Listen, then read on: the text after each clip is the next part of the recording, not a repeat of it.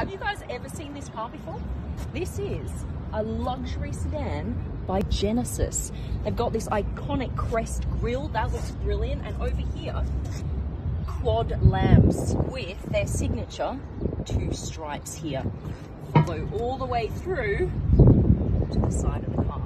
This right here, G Matrix rims, and come with me, guys. Gotta see this. Come on in. Now, you don't get this very often. Watch this.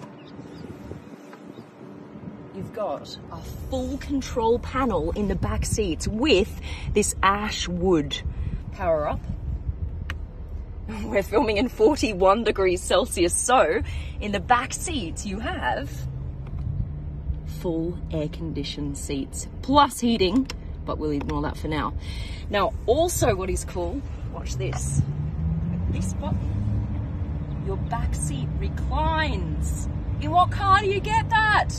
Plus, if you want more space, the back passenger can push this button right here and control the front seat. I love this. This is cool too. It has soft door close. This is the Genesis G80. It comes in two versions, guys. This is a V6 3.5 litre turbocharged engine, and then you've got a four cylinder turbocharged engine as well. Now, I'm going to hop in the driver's seat because that's where all the action is. Now, this interior is based on the beauty of white space, which means it has a very simplistic classic design. Even the air vents are hidden here. Now, they also have the world's first stereoscopic display. That means basically it's 3D and you don't have to wear glasses to see in 3D. That's cool. Now, let's take it for a drive.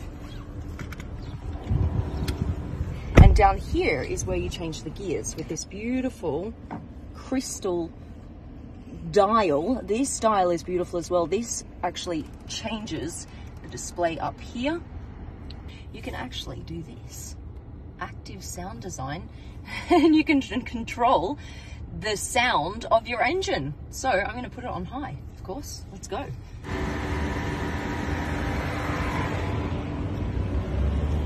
Click this on and now this camera can see your blind spot. Love that. Also on this side, flick it over. It's that quick. And the camera quality is very good. It's also got new technology that scans the road ahead of you to look for speed bumps and potholes so it can make it as smooth as possible, the ride.